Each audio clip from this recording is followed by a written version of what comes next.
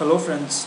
So this is a quick blog on error propagation. Now what do we mean by that? I mean in a scenario where we are trying to load multiple flat files or Excel files or CSVs, uh, there would be chances that when we are trying to process uh, multiple files, is say we have processing 25 files, they, there could be a error in one of the file like the 10th file and and uh, you would not want your SSIS package to stop loading uh, when the when there is an error in particular file. You would want to leave the file as as is and proceed with loading the next uh, next file in line or in the queue. So we have to to uh, simulate that scenario. What we have here is a, an employee table of, of four columns employee ID name salary and department. Uh, the uh, and we have the flat files uh, and an archive folder. So the landing folder or the directory is is uh, this one and we have we will be archiving the processed files here.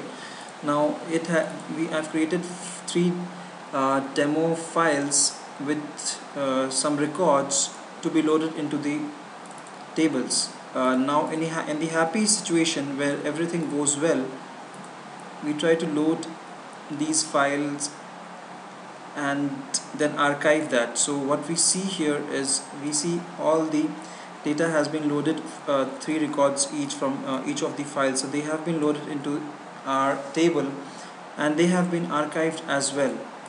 But consider a situation when I induce a error say I induce simple error instead of salary being an of int value I I change it to alphanumeric uh, or the varchar. So there is an error in in file 2 so let's see what happens in this scenario.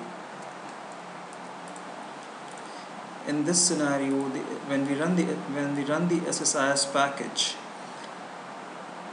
there is a failure.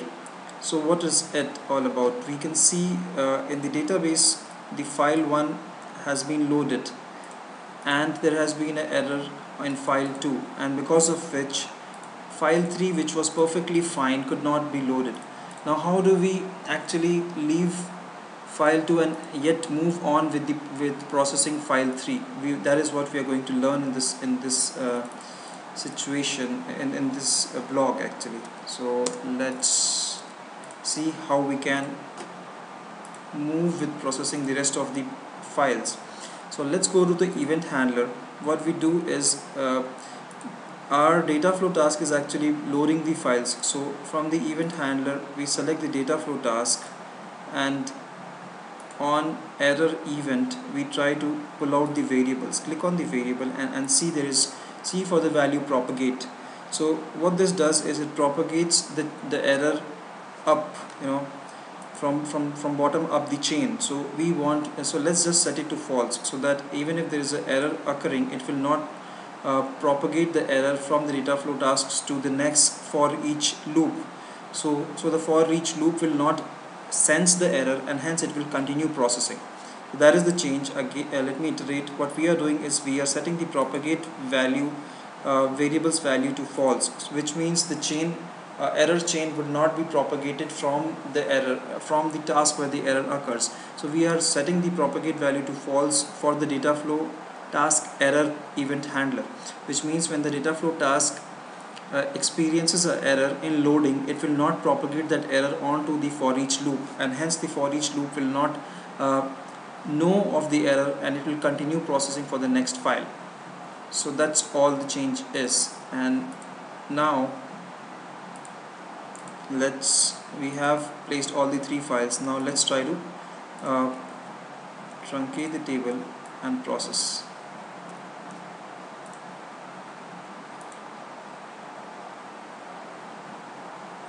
So we have processed. So what we see here is we have loaded two files. That is the first and the third one.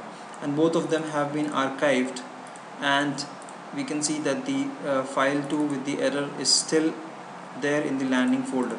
Additionally I can uh, we can actually log these values. We can log the uh, table uh, sorry the file which has not been processed. Uh, we can actually create uh, an or on error scenario and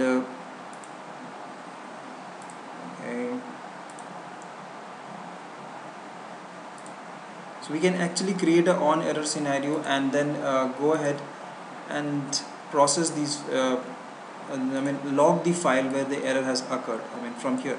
So I, am leaving that uh, to you guys for now and I close this blog here. Thank you